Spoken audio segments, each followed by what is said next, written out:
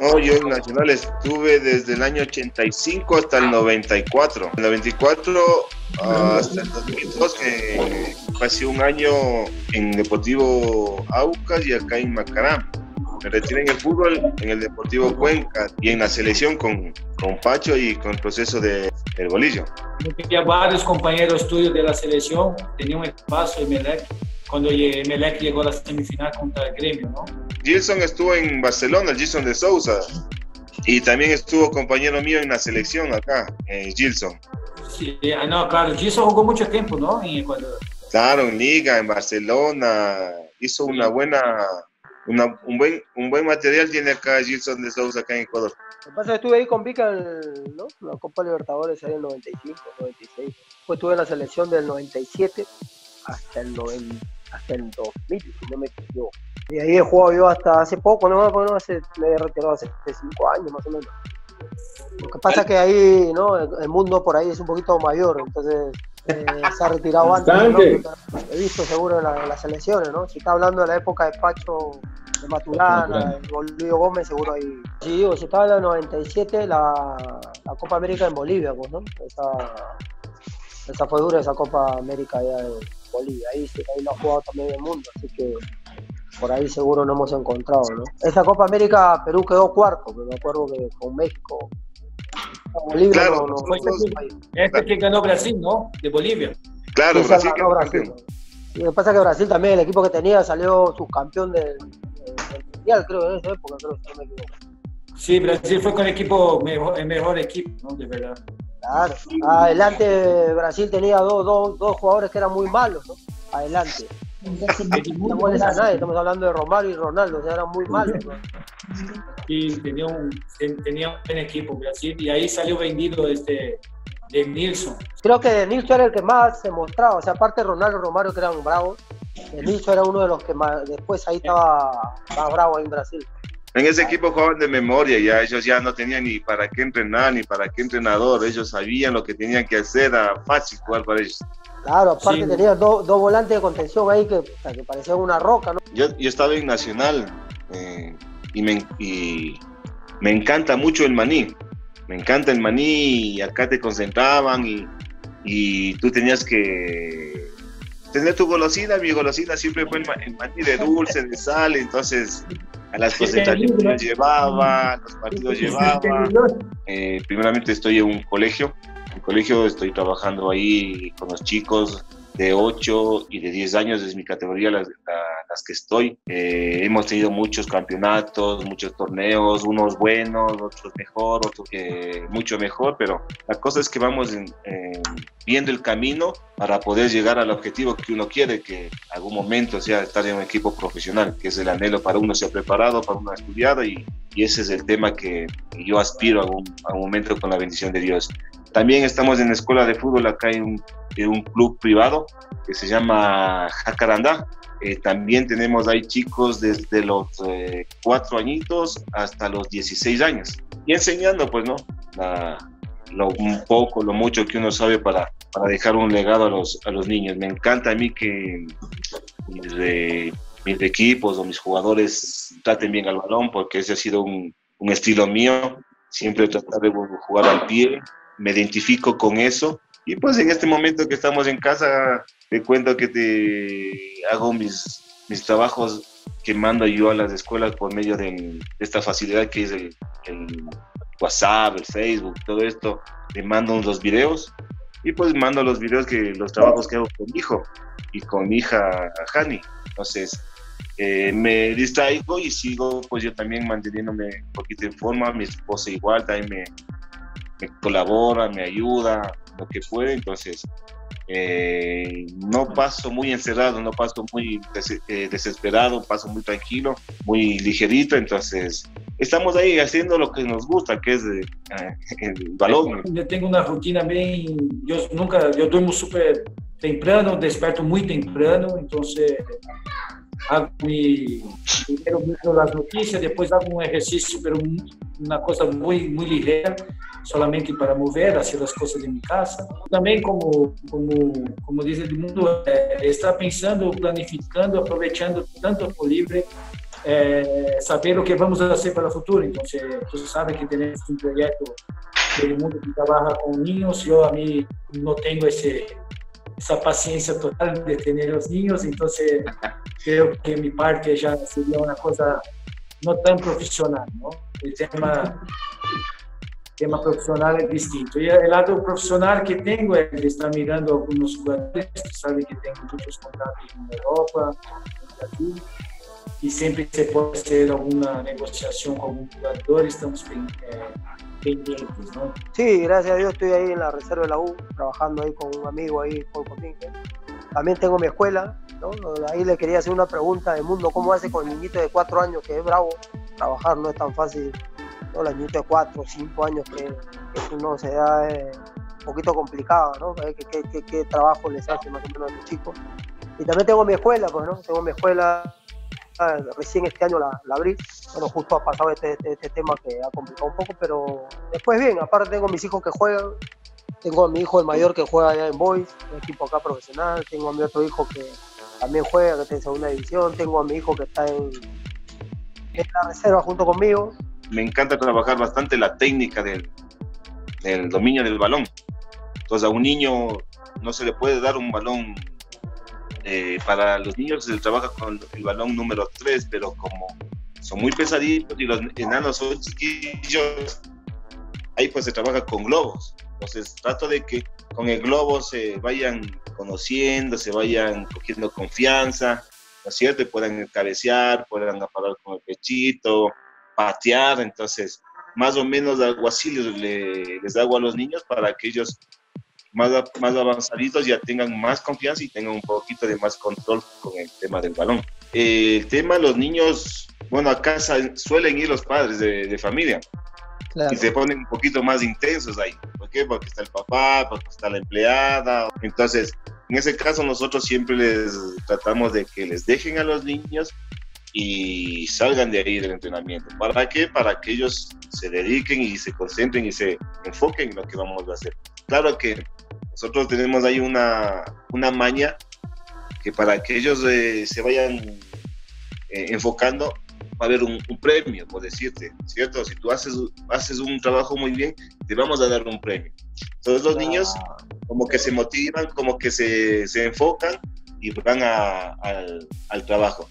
Entonces, si por decirte tú, te digo, a ver, tú haz eh, dos cabezazos con, con, el globo y si no lo haces, pues no tienes el premio.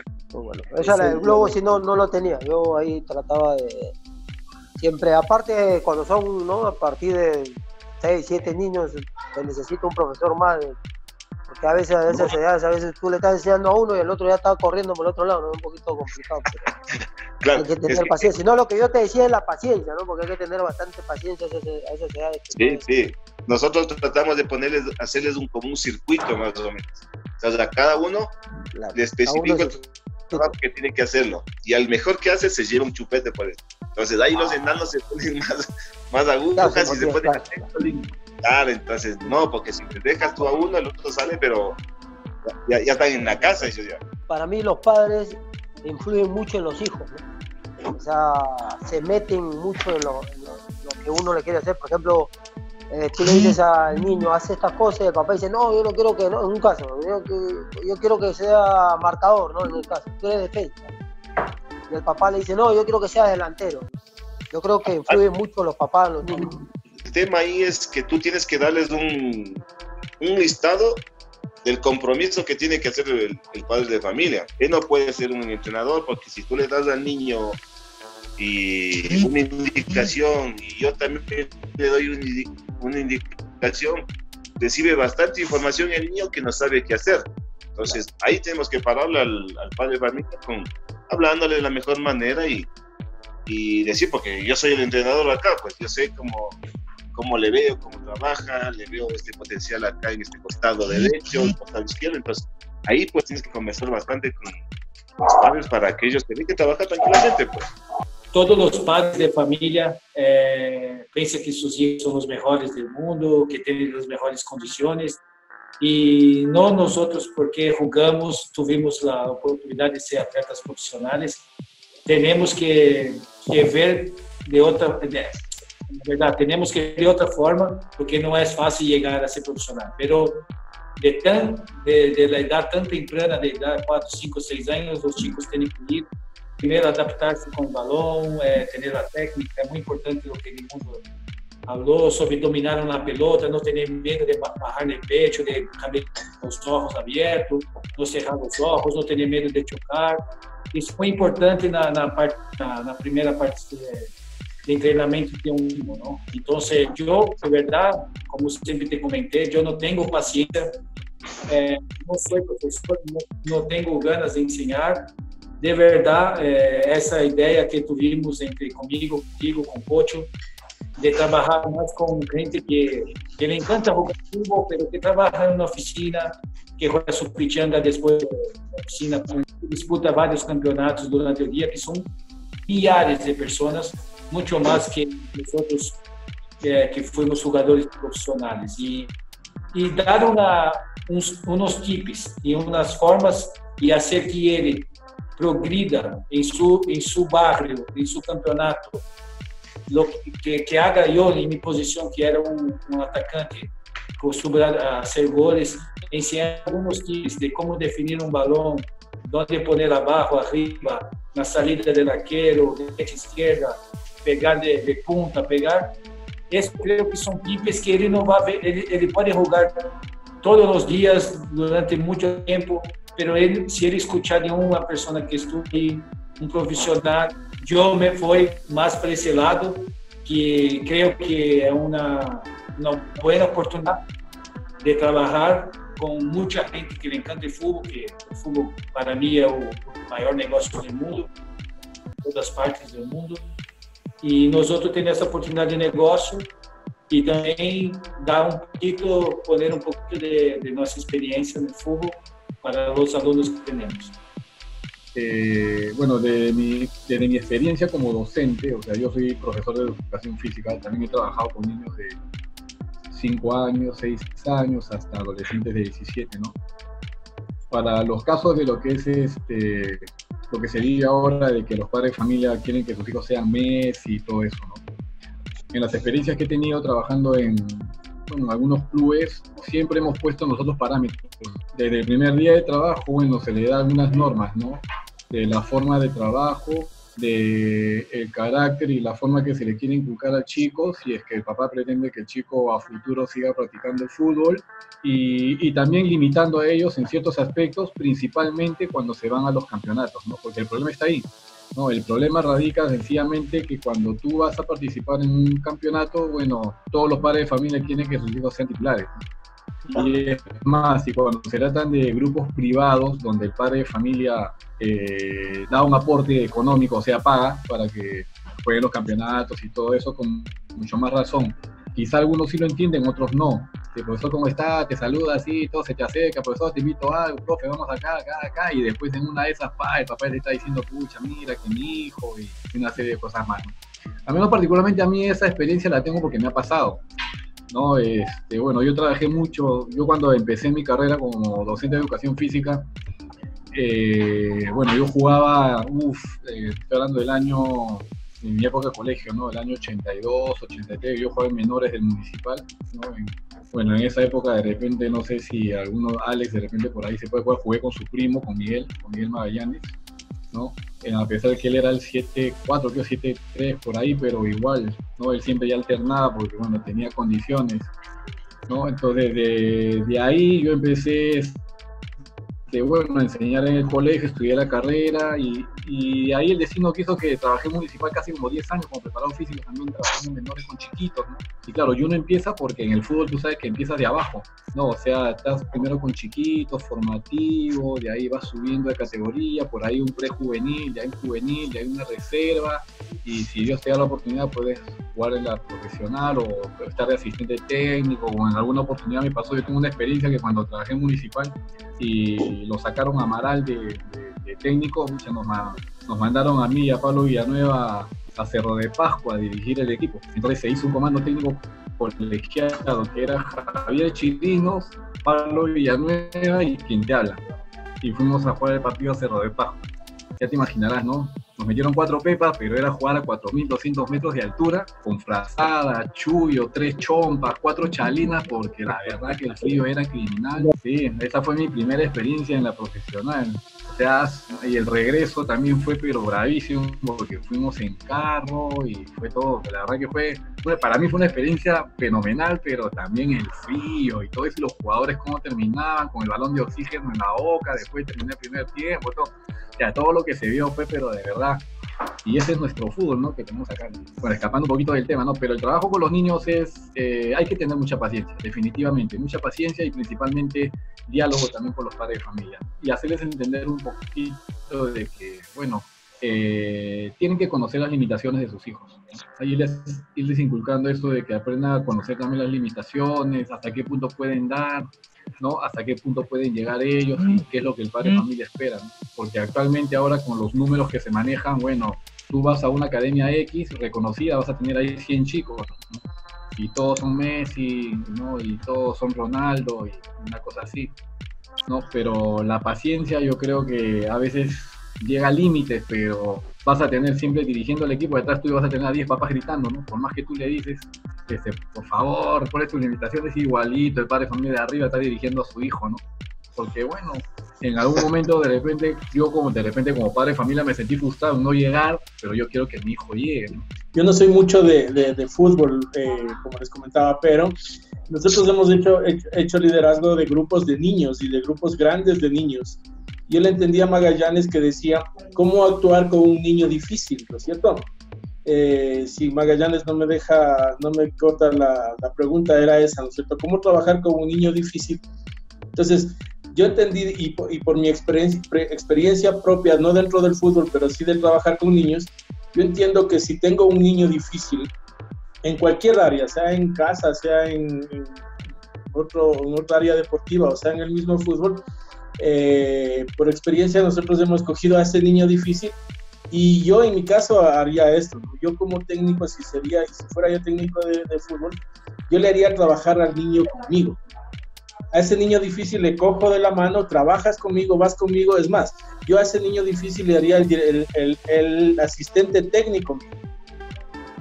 Y, ese momento él empieza a formar un líder en ese, niño y ese niño puede llegar a ser uno de los mejores jugadores que tenga la escuela de fútbol. Siempre y cuando yo le coja al niño de, las riendas, porque él no puede hacer lo que quiera dentro de la cancha. Ah, no, yo voy por aquí, corro por acá, le molesto al uno, le molesto al otro. Pero si yo le cojo y le pongo como mi asistente, tú me vas a ayudar en esto, en esto, en esto, empieza a formar el carácter de este niño difícil y empieza a trabajar él de mi mano. Entonces él hace todo lo que yo le diga y se mueve conforme yo le digo un proceso, ¿no? Pero entiendo yo desde ese punto, ¿no? Y, pienso que es una buena estrategia. Eso nada más de...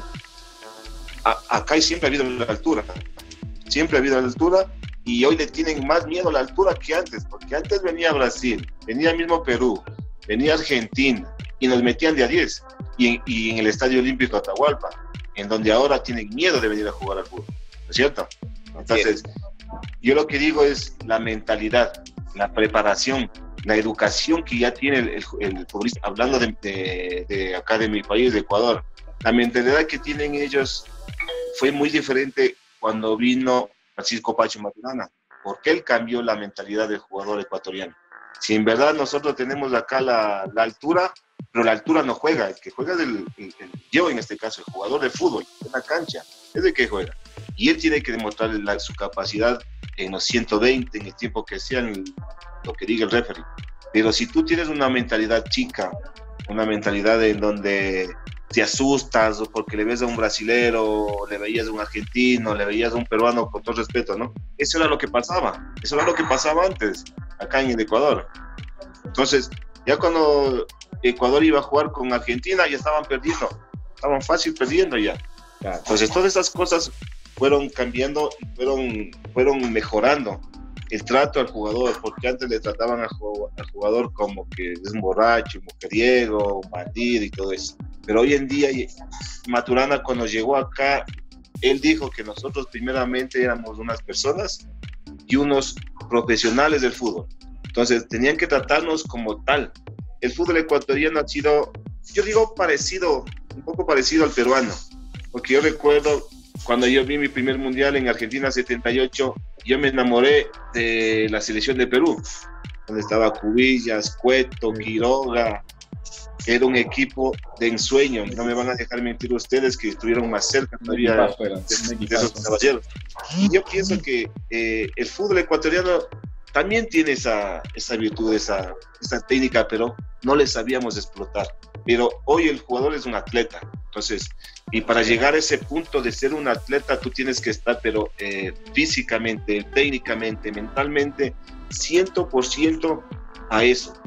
Hoy es el, el, futbolista es un profesional total, donde terminó de entrenar en, en, en el complejo, pues va a la casa y, descansa un rato y qué sé yo, está haciendo bicicleta, está haciendo cardio. Eh, Tú llegaste a vivir la, la, época de los yugoslavos que estuvieron en, en Ecuador, o sea, de, de, de Dusan Draskovic. Claro. Creo que ahí fue el inicio y, y le dejó la base a Maturana, o es al revés. No, eh, correcto lo que tú dices. No, no, está correcto lo que tú dices. Claro. Eh, primero fue eh, Dusan Draskovic que vino a imponer el, el, el por decirte, Byron Tenorio era un centro delantero. Claro, por la cancha, por la fuerza que tenía él, lo metió de central y le fue muy bien. Sí, entonces, eh, ahí fue, sí, fue un cambio total ahí. Como te dije, el cambio de posición y el cambio de mentalidad que, que tenga en ese momento el jugador para adaptarse enseguida a un, a un puesto que nunca lo hizo. Yo fue varios campeonatos menores también, 23, por ahí tuve, eh, enfrenté dos, tres veces a Ecuador y, y por ahí a Ecuador había mejorado, ¿no? Pero pudimos ganarle, sí, pudimos ganarle algunos partidos, pero ahí empezó un poco el, la caída del fútbol peruano, ¿no? Ahí era donde el, el peruano le, le, costó un poco levantarse. Después que está hablando ahorita del tema de Cueto, de Cubilla, de, ¿no? en ese tiempo de Navarro, de Ramón Quiroga, ¿no? La época donde Perú fue fue muy glorioso su, su, época en Perú y después hubo esa baja que, que justo nos tocó a nosotros. Ahora el, el, fútbol peruano ha cambiado y es raro lo que dice el mundo, ¿no? Es la mentalidad. A veces ahí caímos un poco en esa mentalidad. Eh, ya veíamos, a, ¿no? en el caso Pica, que es brasilero, o al argentino, ¿no? al uruguayo, lo veíamos distinto y cada uno se caía un poco.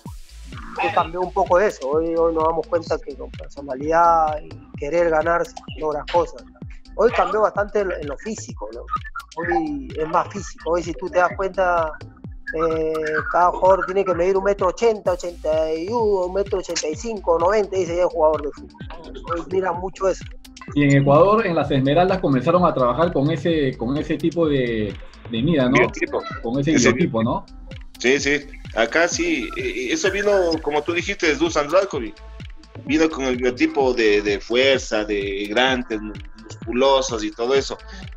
Y, y, y, había gente que tenía mucha técnica para jugar al, al, balón, pero de pronto por lo que eran más chicos no, no podían tener la oportunidad de jugar titular, ¿no es cierto? Entonces, eh, por ahí ya fue cambiando la mentalidad de los, de, de los entrenadores, de los directivos, ya te iban ubicando gente grande, más fuerte, que iban más al choque, o van al choque, porque esa es la que va. Pero para mí el fútbol es técnica, para mí el fútbol es un talento que el chico cuando, cuando lo, lo, consigue o el joven o el profesional lo tenga, es más fácil jugar al fútbol. Veo el partido ¿no? Independiente del Valle, lo vi con, pero no me acuerdo si es con Nacional, no me acuerdo, no, no me acuerdo bien el equipo y me gustó la forma de jugar del, del Independiente del Valle, ¿no? Con la pelota ras del piso, el arquero salido casi en la mitad de la cancha del otro rival, lo tenía encima, el otro rival tenía, pero el otro equipo un contragolpe, pa, y le hizo gol. Pero el otro equipo con la paciencia y todo, salió ganando, ¿no? O sea, qué bonito ver jugar al Independiente del Valle, ¿no? Después veo el fútbol ecuatoriano como está pasando acá también en el fútbol nacional, hoy todo de fuerza, pelotazo para arriba y a guerrearla y a pelearla arriba y ya no hay juego, ya los volantes... De, de creación ya no existe. Yo, yo siempre me pongo a ver el fútbol de Barcelona, del Real Madrid, y son un, un, un, un equi equipos que tienen mucha paciencia, mucha paciencia, y eso es lo que nos, nos, nos falta a nosotros, tener paciencia de hacerle rodar el costado derecho, el costado izquierdo, para el balón, si no puedes entrar por un lado, retroceder y buscar los espacios. Cualquier momento se te abre el, el, el, equipo rival. Cualquier momentito pase entre líneas y mira si tienes un, un jugador de punta que sepa definir, que sepa con el balón, más fácil. Obviamente que podemos hablar que Brasil eh, tiene una superioridad, es porque Brasil mantiene una formación, eh, mantiene una formación mayor, eh, mucho más un trabajo más profesionalizado. Lo que sentía yo cuando llegué en el fútbol sudamericano era esa diferencia, que el jugador no era tan profesional para trabajar. Y se, ve, se veía muchas cosas eh, que se daban eh, este cambio. Yo concordo plenamente que la, el cambio de mentalidad que hubo tanto en Ecuador como ahora aquí en Perú ha cambiado y se puso en el que tiene todos los otros países, no solo de Sudamérica, pero mundialmente Ya sabe lo que tiene que hacer, lo tanto que profesional que tiene que ser el jugador. Me da mucha pena decirlo esto, pero es la realidad. O sea, hemos eh, bajado muchísimo el, el nivel de juego. No, no hay la nueva renovación de, jugadores que tendría que haberlo. Este, y si hubiésemos jugado, nos tocaba con, con Argentina y pues hubiese sido cualquier, eh, cualquier marcador negativo para el jugador, porque verdaderamente no, no se tiene. El profesor vino recién, eh, el holandés, y nunca ha trabajado todavía. Jordi Cruz. Entonces, con Cédico, ajá, y con Jorge Cédico que, que, estaba, pues no, no, no se vio el, nivel que tiene que tener una selección para, para encarar las eliminatorias. Pero bueno, como te dije hace un momento, es, esto es fútbol, esto es de mentalidad. Y cuando uno se pone la camiseta de, su país, uno tiene que olvidarse de todo. Pero el tema es que vamos a la realidad que jugadores no, no, no han salido porque no ha habido gente acorde para las juveniles, para las formativas y que haya eh, ese cambio fundamental que es la, la, juventud en un campo de juego. Mi país en este momento pues no, no, no le veo que va a clasificar. Yo te digo así, espero, espero equivocarme, pero futbolísticamente no le veo, no tiene las condiciones, no tiene la, la capacidad. Mira que viene otra vez a la selección, viene Novoa. Novoa, Novoa que es, un gran jugador. Sí, claro. Ya tiene que, que, ver otra, ya tiene que estar otra persona en el, en el sitio de él. Entonces, eso es lo que te digo. Acá está Antonio Valencia, Antonio Valencia todavía tiene su nombre, su prestigio, pero ya no es el Antonio Valencia que estaba en Manchester, que estaba al, principio, ¿no es cierto? Entonces, es complicado, es complicado ya eso. Entonces, a eso es lo que voy, que, hay que buscar mucho, mucho, mucho en las formativas para que se haga esto. Claro que, que, duro lo que estamos viviendo, pero también le favorece un poquito a Perú, que no haya empezado todavía la, la eliminatoria. Yo, creo que tiene chance, Perú, mucho chance de poder clasificar lo que Gareca le dio a Perú fue el juego que necesita Perú. Es lo que justo hablaba el mundo de, poder jugar, de saber jugar de lo que realmente tiene el jugador peruano, igual el ecuatoriano. Y tener esa personalidad. Yo creo que eso es lo que Perú ha agarrado en, este tiempo. Aparte tiene muchos jugadores afuera también, que antes no lo tenía. Eh, Perú va a llegar. Una cosa te digo que por el proceso que tiene, no no ha cambiado el entrenador, no ha cambiado el estilo de juego, cambiado algunas cosas puntuales eh, eh, en convocar a, jugadores, pero sabe lo que, cómo tiene que jugar. Tiene ya la idea, tiene la planificación adecuada para jugar. Entonces, por ahí es una ventaja que Ecuador no tiene. Pero, eh, como te digo, Perú tiene muchas posibilidades porque tiene Farfán, que es un jugador líder, es un jugador que que en la cancha sabe manejar los tiempos, ¿no es cierto? Eh, Paulo Guerrero también, que es otro, otro jugador inmenso que tiene eh, eh, la selección. Se crea buena expectativa acá en nuestro medio el hecho de, hacer una copa como la que, ustedes están proponiendo, que es una copa de panas. Eh, porque sí, ahí el, fútbol barrial en Quito es bien popular, bien, bien, tiene muy buena acogida en realidad. Entonces, convocar a una Copa de Panas no creo que sería difícil, no creo que sería difícil para hacerlo porque eh, existe, existe esas ganas, existe ese anhelo de la gente en los barrios de hacer deporte, ¿no? Y sobre todo el, fútbol como, como nuestro primer deporte aquí en el Ecuador en realidad. Entonces siempre tiene muy buena acogida, ¿no? Hay, muy buenas ligas barriales acá en Quito con las que se puede trabajar, con las que se puede invitar a hacer una copa de panas. Hay ligas barriales, no sé si ustedes le, entiendan un poco el tema de ligas barriales allá, pero es sectorizado, ¿no? Entonces cada barrio tiene sus ligas y en cada liga hay buenos equipos, buenos jugadores. Entonces hacer una copa de panas convocando a través de las ligas barriales, yo creo que podría salir algo muy bonito acá, ¿no? Acá en, en los barrios, mira, recién hubo un campeonato, eh, hubo unos torneos que hicieron justamente a nombre de, de, mi persona, que estuvo Liga, estuvo Católica, estuvo el Deportivo Quito, Aucas, América, y todos fueron eh, jugadores de esos equipos, toditos, ¿no? Entonces, fue una, una, un llamativo muy bueno. El último partido que fue acá en el Valle Solana, como, como dijo Alberto, acá hay sectores, pues si te Solanda hace su, su, campeonato y acá al ladito está Santanita, por decirte, y acá sin otro campeonato. Y siempre tú ves en las canchas jugadores profesionales, siempre tú ves. Entonces, son muy competitivos, son muy llamativos y la gente asiste, eh, cuando son, por decirte, partidos finales o, eh, semifinales, ya para la liguilla, siempre la gente está ahí. ¿Qué no le va a gustar enfrentar a jugadores? ¿no? no es jugadores, como dice el mundo, ¿no? Porque no vas a decir igual un doctor. ¿Qué no le va a gustar enfrentar a el mundo, ¿no? O enfrentar a Vika. Aparte, la gente del barrio siempre está atenta, ¿no? Creo que los barrios siempre van a jugar. Tú le gusta todo.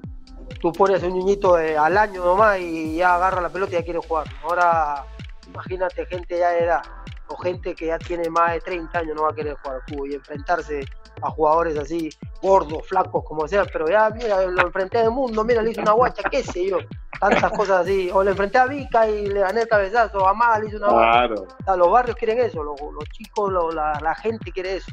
Y estar todavía con la, la edad que tenemos, y ser jugadores profesionales, que gracias a Edmundo hoy día volví a ser jugador profesional, nada más que soy ese jugador. Eh, y estar ahí, estar, seguir haciendo deporte y dar deporte para la gente, que la gente vea que a pesar de las, no tener rodillas, tener dolores de hernias y tener varios problemas, todavía seguimos poniendo como diz Magallanes, tic-tac, tic-tac, vamos a hablar e vamos a reírnos, vamos a hacer uma, uma, uma buena jugada, hacer goles.